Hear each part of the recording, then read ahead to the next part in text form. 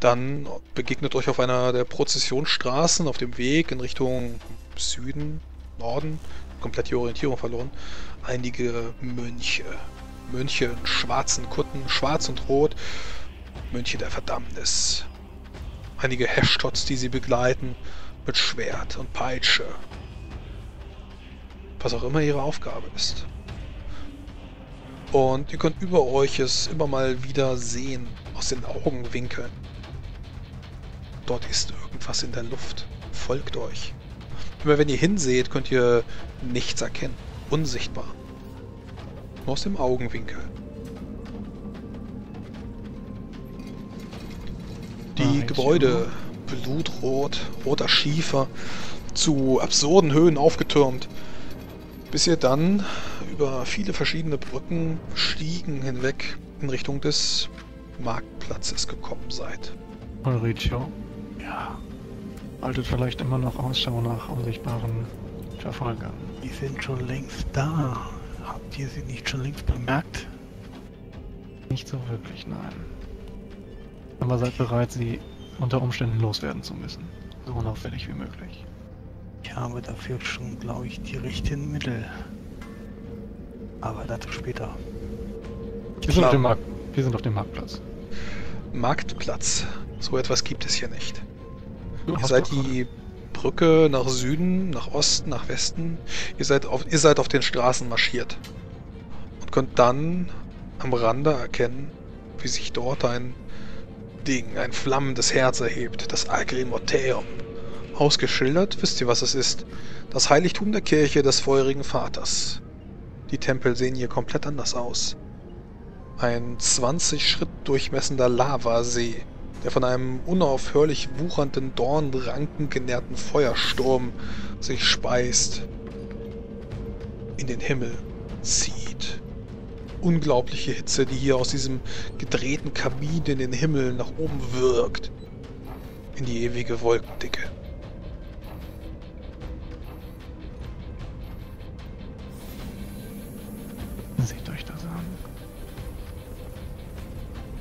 Nimm meinen Blick ab und halte weiter.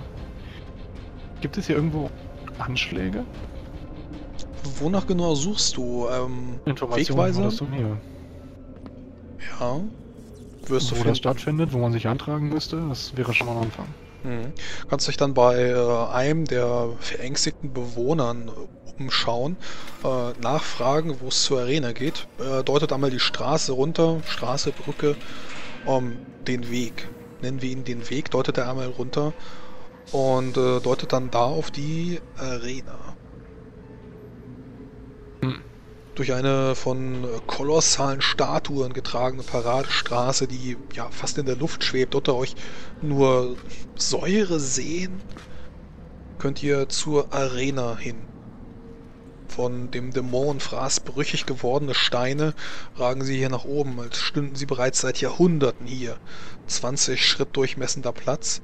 Hier windet sich spiralförmig eine Rampe in die Höhe, zugleich eine Tribüne für Tausende von Zuschauern. Tausende, die hier dann kämpfen können, leben, Tod feiern. Düstere Theaterstücke, die hier aufgeführt werden könnten auf einer Bühne mit dem makabren Possen. Und auch hier könnt ihr die vielen, vielen Kämpfer sehen, die Pferde verkaufen, Lanzen, dort posieren, auf offenem Platz streiten, blutig Feld führen. Einige Sklaven, die hier verkauft werden, Dämonen, die verkauft werden. Das ich halt Arenaviertel. Versuche nicht die Dämonen zu sehr anzustarren und blicke mich lieber nach dem Marschall um, den es hier irgendwo geben muss.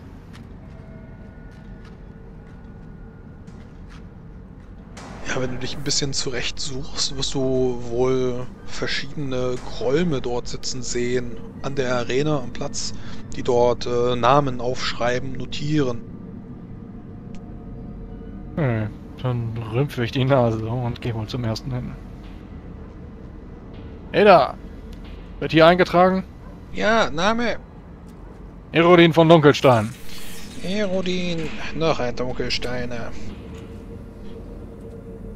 Klassen, Alle. alle. Er Was gibt es für... Warte, Moment, was gibt es für Klassen? Alle, nächstes. Was mit dir? Deutet auf Riccio. Nein, ich kämpfe nicht. Ich bin nur ein, ein Diener.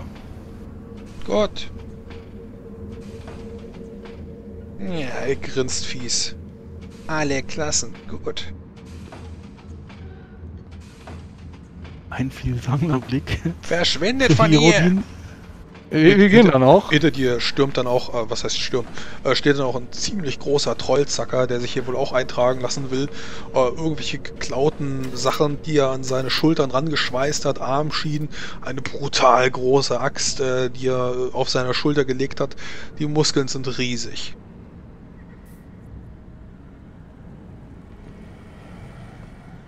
Schiebt dich dann auch einfach beiseite, wenn du nicht weggehst und äh, lässt Ich habe ja schon gesagt, ich, ich habe ja schon gesagt, ich gehe dann weg. Ja, okay. Ich versuche mal einen Aushang zu finden, auf dem die Klassen draufstehen. Ja, die Klassen. Ähm, Ich musste ja der Arroganz hier erstmal Genüge tun. Ja. Das soll gelingen. Ähm, du wirst feststellen, dass das Turnier wohl in vier Tagen beginnt. Bis dahin kannst du dich nicht darauf vorbereiten. Mm, Und zwar wird es geben den Zweikampf mit Schwert und Schild. Und zwar an allen Turniertagen. Vier Stück in der Zahl. Gibt es Den- da eine Notiz? Sorry, äh, willst du erst weitermachen oder darf ich Fragen Äh, stellen? Ja, du darfst Fragen stellen. Gibt es da eine Notiz bei, ob es wirklich Schwert und Schild ist oder Einhandwaffe und Schild? Zweikampf mit Schwert und Schild, so wie es hier steht.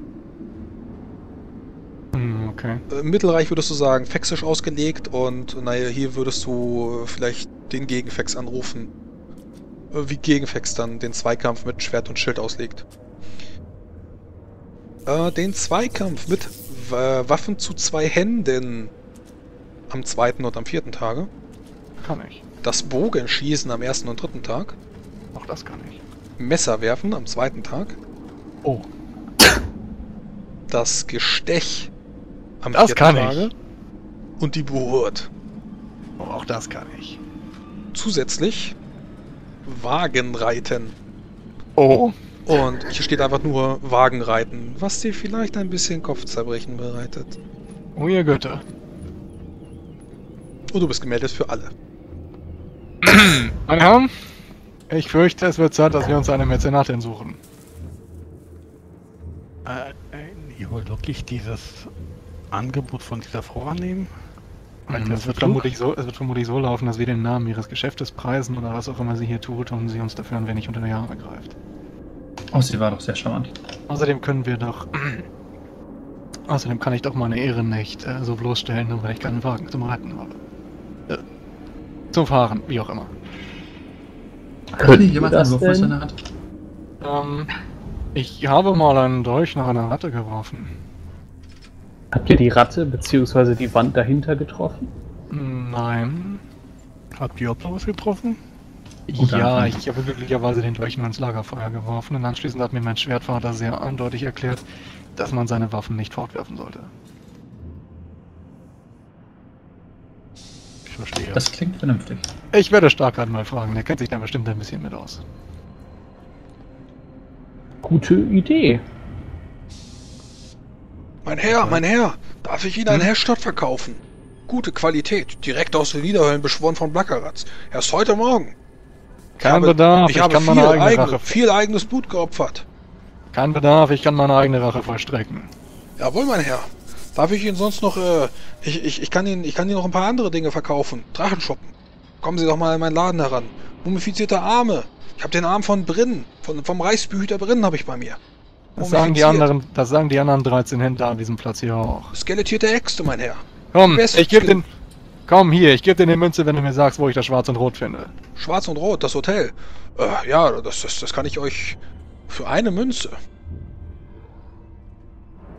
Ich, ich halte so irgendwie das Äquivalent von zwei Hellern hin. Ist, ist okay. Ja, damit hat er wohl auch genug und er weist dir den Weg in Richtung Hotel Schwarz und Rot. Die Prozessionsstraße nach oben, ähm, dahin zurück am Agrimotheum vorbei, immer geradeaus. Zumindest hast du das Gefühl, dass es geradeaus geht. An einem Turm des Kristallgötzen vorbei erreichst du dann das Hotel Schwarz und Rot. Gott, diese Namen machen einen schon nervös. Das beste Haus am Platz ist das Hotel Schwarz und Rot äh, mit einer halbelfischen Besitzerin Nindariel Finsterklinge. Meine Herren, wenn sich niemand mehr für euch irgendeine Disziplin eintragen möchte, Können wir uns das leisten? ihr seid doch derjenige, der auf guten Häusern besteht. Was ist mit euch, mein Herr? Herr Magier, Herr Magier, ihr seht aus, als ob ihr einen verbrannten Schädel braucht. Einen verbrannten Schädel. Nur 50 Dukaten. 50 Dukaten für einen verbrannten Schädel. Hm, ah, ein sehr verlockendes Angebot, aber ich kann meinen eigenen Schädel verbrennen. Dankeschön. Teriak, Teriak, direkt aus Bjaldorn, aus Bavi. Grimfostöde. Hm, Nein, danke, nichts für mich. Vielleicht ein andermal. Wie wär's mit Asche? Asche aus Usilia. Original Asche aus Usilia. Na, habe ich schon. Jawohl, mein Herr. Eine, eine abgerissene äh, Figur, einen abgerissenen Götzen von Braios. Ah, das kann ich auch selbst. Er ist ziemlich enttäuscht, als sie ihn da stehen lässt. Ich folge den anderen. Ja, ähm, neben euch könnt ihr auch noch erkennen mit einem Schild die Schenke-Oger-Höhle. Ist wohl qualitativ minderwertig. Äh, direkt neben dem Hotel Schwarz und Rot. Und ähm, ihr seid gelegen am Platz der Gerichtsbarkeit. Wo ähm, Asquarath Ascheherz, ähm, ein vielgehörnter Dämon auf dem Platz äh, das Weltengericht abhält und täglich einige Dutzende, die daneben stehen, irgendwelche schwarzen Priester, irgendwelche Mordbrenner, ähm, die dem schwarzen Greifen lauschen, wie er dort predigt. Mit einer Kohle und Asche verzerrten Stimme. Ähm, einige andere Mönche und schwarzen Richter, die auf den Blöcken daneben stehen und dem äh, Orden des sehenden Sohnes huldigen, äh, einige öffentliche Prozesse abhalten. Äh, Leute, die hier ausgepeitscht werden von Hashtots, äh, die dann äh, irgendwann auch als Strafe unter die Kutte gezogen werden und dann verschwinden. Ähm, ja, ihr seht dann auch ein paar Leute, so ein kleiner Zeitungsjunge, der auf euch zukommt. Mein Herr, mein Herr, darf ich euch die neueste Ausgabe aus der Druckkammer des Optoliten präsentieren? Die Gazette Jolgurmax. Wer wird gewinnen? Die Prophezeien, die Prophezeiungen äh, sind, sind, bereits, äh, sind bereits heute. Wer, wer der Gewinner sein wird, ihr könnt das nachlesen. Ihr könnt eure Wetten abschließen bei den fiesen, hinterhältigen Räumen. Ihr müsst es aber im Okay, ja. Optoliten lesen. Ich gebe ihm was, was gibt man da an Heller? Was kostet der Optolit? Äh, ja, gib, gib einen Heller. Kostet halt so viel wie der aventurische Boote. Ja, okay, er kriegt halt seinen Heller und ich reiße ihm das Blatt aus der Hand. Ja. Schauen wir mal. Ja, Also ähm, hier steht drin, dass... Antreten- Ich kann den Namen gar nicht lesen. Äh, antreten werden. Arngrim von Ehrenstein, Lutisana Oh von Perikum selbstverständlich auch, ähm, Jelnan von Dunkelstein, Varena von Mersing, einige Mordbrenner, die dir nichts sagen, Sirium Grimm, der Schänder. Ähm, und ja, nächste Seite steht dann auch, wer in die Hohe Loge eingeladen worden ist. Äh, wir dürfen begrüßen aus Mendena, Jol Gurmak, Warung und äh, Maraskan, den äh, hochgeehrten Torxes von Freigeist, der sich selbst die Ehre gibt, die Gäste anzukündigen. Asmodeus von Andergast, ähm, ein ja, Hofmagier, der wohl hier residiert. Thyakradane, die Reichsrichterin. Galotta, der Dämonkaiser, ist hier. Ähm, einige andere Leute werden Rudalbert von Wertlingen soll wohl hier sitzen, Alurath Mangrace, Lucados von Kemet, die Liste hört gar nicht auf, du blätterst um, nächste Seite, nächste Seite, Azariel Scharlachkraut und Dexter Nemrod.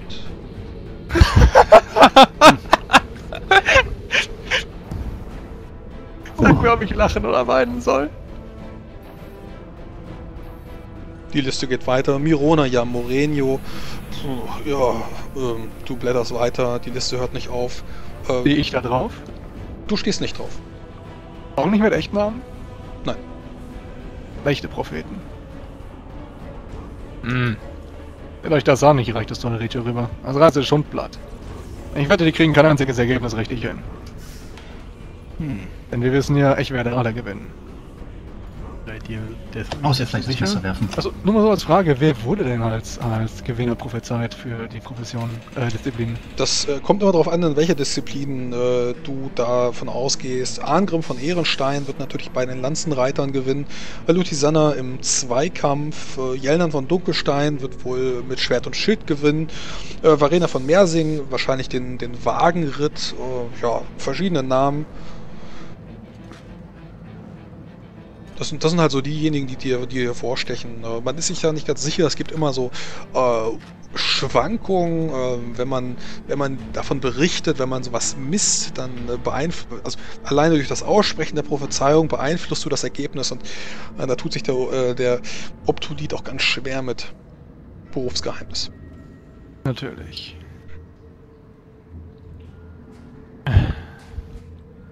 Also vielleicht solltet ihr das mit dem Messerwerfen nochmal üben, bevor das Turnier anfängt. Ja, das werde ich wohl müssen. Es ist keine Schande zu verlieren, es ist nur eine nicht angetreten zu sein.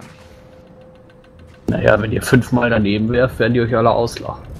Verzeiht mir, mein Herr, ich glaube, im Mittelreich mag das stimmen, aber ich glaube, hier könnte es also nicht nur eine Schande sein, aber vielleicht tödlich. Also- äh, man wird im Messerwerfen wohl kaum aufeinander werfen. Und wenn doch, bin ich gut genug gepanzert, um keinen Schaden davon zu tragen.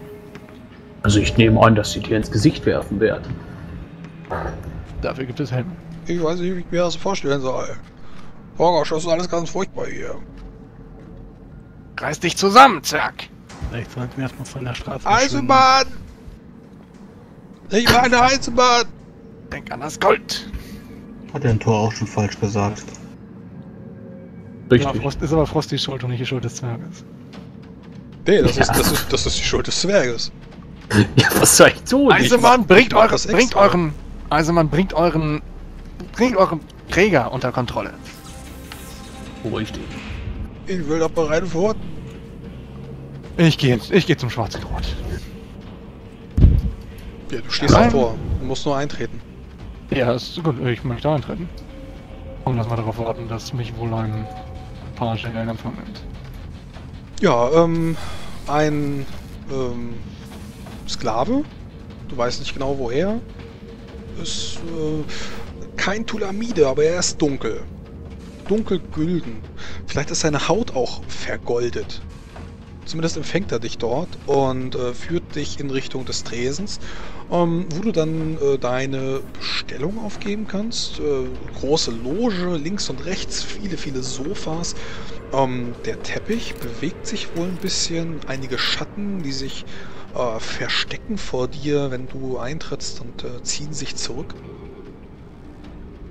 Ähm, bis du dann am Tresen stehst äh, vor einer Dame, äh, die dich in Empfang nimmt. Du bist wohl auch eine Halbelfin, was auch immer die hier tut. Guten Tag, mein Herr. Wie kann ich Ihnen helfen? Ich wünsche Belchirascha die Giftige zu sprechen. Sie nächtigt Ja. wohl hier. Ja, selbstverständlich. Sie ist vor einigen Augenblicken erst eingetroffen. Ähm, ich werde Sie rufen. Äh, wen darf ich ankündigen? Irodin vom Dunkelstein. Jodin vom Dunkelstein. Jawohl. Sie bleibt einfach vor dem, vor dem Tresen stehen. Ich schaue sie erstmal eine Weile fragend an und gucke, was passiert. Würfel mal eine Sinnschärfeprobe Gehör. Mhm. Zum Glück bin ich nicht schwerhörig. Die Magier dürfen sonst auch mal eine Magiekunde schmeißen. Äh, nicht geschafft. Ja, doch.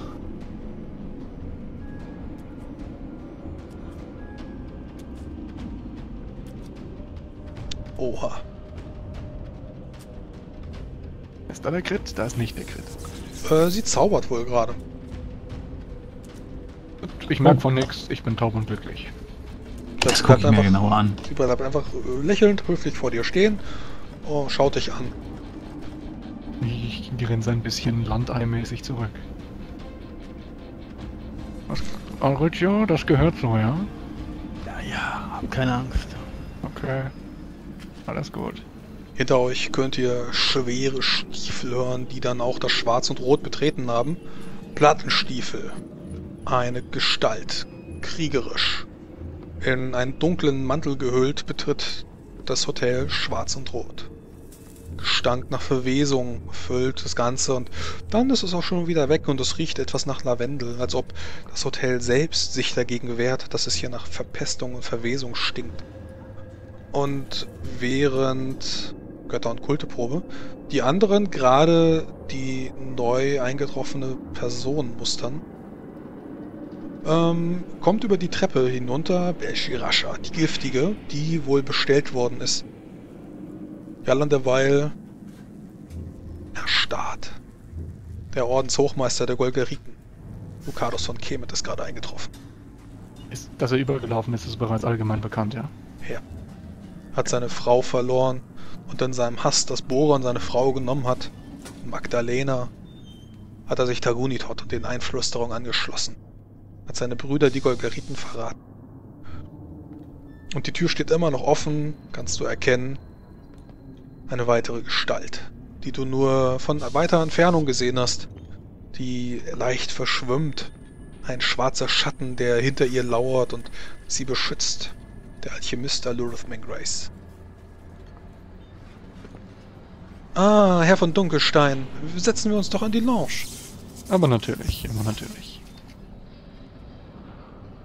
Ja, Belgi rascher Treppe runtergestiegen, äh, deutet dann auch gleich mit offenen Händen in Richtung der Lounge, während Alurith Mengrace und Lucados von Kemet mit schweren, gepanzerten Stiefeln über den, äh, ja, über den Teppich in Richtung der Rezeption geht. Ich gehe danach und versuche meinen Blick von den beiden fernzuhalten. Zum Glück bin ich nicht neugierig, sondern beherrscht. Ihr musstet also gar keine Nacht darüber schlafen, sondern nehmt direkt mein Angebot an, mich als Mäzenin zu erwählen. Ich habe einige Nun. Geldmittel bekommen. Ich vertrete direkt das Hause Pavi. Das heißt, ihr streitet im Auftrage Chloranas, wenn ihr mein, äh, meine Geschenke annehmt. Nun, ist denn die Aus ist denn die Ausrufung eurer Herren äh, zur Ehre die einzige Gegenleistung, die ihr fordert? Äh, Nun, das sollten wir doch, äh, die Modalitäten sollten wir doch bei einem Gläschen Tiriak besprechen, nicht wahr? Kurze Zwischenfrage. Weiß ich, was Teriak ist? Da müsstest du mit deinen beiden Magiern mal sprechen. Du weißt es Okay, es ist also, es ist also prinzipiell, es ist also prinzipiell nicht schlecht, wenn ich jetzt Ja sage, weil ich nicht weiß, wie kacke der Äh, ist. Okay. es, hört, es hört sich nach einem Wein an. Nun, selbstverständlich. Das wäre eine sehr willkommene Ablenkung. Nun dann. Äh, sie schaut wieder unglaublich abfällig auf die beiden, ja, eigentlich auf die gesamte Begleitung und äh, bedeutet euch dann einfach nach dem Motto, trollt euch. Während sie Wir da leuchten. gemeinsam mit Jalan auf der Lounge Platz nimmt, einmal in die Hände klatscht, ein äh, nivesischer Diener tritt herbei mit einer schwarzen Glaskaraffe, in der es Hab ich- schwarzölig glitzert und funkelt. Haben wir es gehört, was sie gesagt hat mit Teriak? Oder Ja. Aber Dann wie willst du ihm das jetzt sagen? wenn, ich, wenn sie wegschaut, dann mal deutlich Horatio, ein, ich werde euch auf dem Platz finden hinterher. ein Nicken, also ein Kopfschütteln an. Schüttel mit dem Kopf zurück. Ich werde euch auf dem Platz finden. Wenn ihr die Dame und mich unsere Geschäfte machen lassen möchtet. Ja, Herr. Ja, guckt, als hätte er eine Zitrone gebissen. Ja, Herr. Ich, ich, ich, ich werde euch erwarten. Und gehe dann raus. Kommt. Gott, hoffentlich komme ich hier ohne Minderpakt raus. Starker hat äh, ziemlich still gerade. Äh, vielleicht ein paar Geschichten aus Mendena, die gerade in seinem Kopf hochkommen. Zumindest ist er die ganze Zeit ziemlich ruhig. Aber zusammen mit ihm und den Eseln, die ja immer noch stehen, nicht genau wissen, was sie tun sollen, in ihren Augen, in den Augen der Eseln könnt ihr Verzweiflung lesen oder als ob sie schon sämtliche Emotionen verloren hätten, als ob sie einfach tot sind. Als ob die Esel bei lebe- lebendigem, lebendigem Leibe verwest wären. Stehen sie einfach emotionslos neben euch. Ich streichel mal über Leonardos Kopf. Alles wird gut. Alles wird gut. Ihr seid auf euch alleine gestellt, ohne euren Anführer, Jalan. Abdullah, Ja, meint ihr, könnt ihr ein, ein andere, eine andere Unterkunft finden in diesem Loch? keine Ahnung, ich kenne mich hier nicht aus. Aber ihr seid am ehesten dazu in der Lage, oder? Sind doch gerade an was so einer Schenke vorbeigekommen, oder nicht? Wenn ich mich richtig erinnere. Ah, ja. Sah nicht besonders gut aus, aber. Ogerhöhle. Ein interessanter Name. Ich denke, da, da passt ihr sehr gut hin. Was wollt ihr uns sagen? Naja, ihr mögt doch feine Restaurants. Was hat das mit einem... Oh, oh. ach. Zwerghumor, ich verstehe. Während ihr euch noch unterhaltet, äh, auf diesem ja, Marktplatz steht oder Gerichts, Gerichtsplatz, äh, gehen drei Golme an euch vorbei. Ähm, der eine hat wohl zwei Edelsteinaugen, der andere hat eine goldene Zunge, während er spricht und gehen wohl an euch vorbei. Dem anderen rieseln wohl, was ist das? Irgendwelche Metalle rieseln ihm aus den Schuhen raus, während er geht und eine kleine Spur hinterlässt. Gehen wohl äh, an der Oger, an der Ogerhöhle vorbei zur Handelshalle. Zumindest steht das dran. Da, wo dem Erzdämon Solva gehuldigt wird. Einige äh, Anzeigetafeln, die da magisch flimmern und irgendwelche Angebots- und Nachfragepreise zum Besten geben, äh, irgendwelche Kurse, die nach oben gehen, Dukaten, die da gehandelt werden, Wertpapiere, Briefe. Eine seltsame Stadt. Angus, gehen wir mal in die Oberhöhle. Das kann ja nicht so schlimm sein. Nun, besser als hier herumzustehen, definitiv. Äh, wer passt auf die Pferde und den Esel auf? Äh, Die schaffen das schon. Ihr seid sehr mutig. Äh, Nein, ich kann alles selbst tragen. Macht seine Sachen von der ans Pferd los und ist überladen und äh, ja. ich dachte, Jalans Pferd da noch rum? Also ich würde Jalans Pferd jetzt nicht anfassen, das tritt aus. Ja, das frage ich gerade. Also steht da noch. Genauso emotionslos wie die beiden Esel. Drei Esel. Ich wink aber so mit meiner Hand so einen Meter vor dem Pferd her. Bewegt das Pferd sich? Oder reagiert das überhaupt da drauf? Überhaupt nicht. War ich kurios. Wenn ihr zur Ogerröhle herantretet, könnt ihr erkennen, wie da drei Türsteher äh, vor angebracht sind, angekettet mit unglaublich gigantischen Ringen um ihre Hälse, angeleint, angeflockt. Drei Oger, die da aufpassen. Ich glaube, ich weiß, wo es seinen Namen her hat. Sehr passend, definitiv. Aber wie kriegen wir jetzt Jalans Pferd von hier nach da? Ich denke mir, das Beste wird sein, wenn Alrico einfach von hinten schiebt. Haltet ihr mich für solch einen Narren? Ich stelle euch diese Frage. Sollte das nicht Antwort genug sein? Ich werde dieses, dieses Pferd nicht anfassen. Ich habe gesehen, was die letzte Mal, was letztes Mal Eisenmann angetan hat. Ich habe mich auch schon getreten. Abdulon wurde schon getreten, ich wurde schon getreten. Es ist jetzt Tradition, dass auch ihr getreten werdet. nein, nein, nein, nein. Ich fasse diese störrische Mistvieh nicht an. Können wir jetzt Dann weitergehen? lasst mich es tun einfach und ich äh, nehme mal die Zügel des Pferdes und schau mal, ob das reagiert irgendwie. Ja, lässt sich führen von dir. Ich weiß gar nicht, was euer Problem ist. Sehr beeindruckend, sehr beeindruckend. Hm. Na dann, lasst uns mal. Machen diese Oger Platz? Stehen die da im Weg? Wie kann ich mir das vorstellen? Äh, die stehen daneben, angeleint, angeflockt und äh, ja, äh, popeln sich gerade in der Nase. Also wirken die jetzt besonders aggressiv auf mich oder wirken die gelangweilt? Die wirken unglaublich dumm auf dich, aber du kennst diese Tiere nicht. Du weißt nicht, wie man mit denen umgeht. Du hast den ersten Oger vor einem Tag gesehen, als er drauf gespießt war. Ich, äh, be- bevor wir da jetzt komplett gehen, schaue ich die anderen mal an und flüstere denen zu. Weiß irgendjemand was über die Viecher? Die fressen Menschen. Irgendwas anderes? Niolaus, Vielleicht- machen wir eine Abrichtenprobe. Eine Abrichtenprobe. Hm, ja. Wenn das blöde Mistvieh von Pferd jetzt wegläuft, ne? ich renne da nicht hinterher. Das wäre so egal. Ich habe keine Abrichten. Es ist so, Tierkunde plus 10. Bist du vielleicht ein geheimer Tierkunde-Experte? Ich habe keine Tierkunde. Es wird nix. Ja, äh, du stehst, du stehst mit Bisrabul äh, neben den Ogern. In aller Gemütlichkeit nimmt einer der Oger das Pferd und steckt es sich in den Mund, knuspert einmal, die Wirbelsäule bricht und das äh, Hinterteil von Bisrabul fällt auf den Asphalt.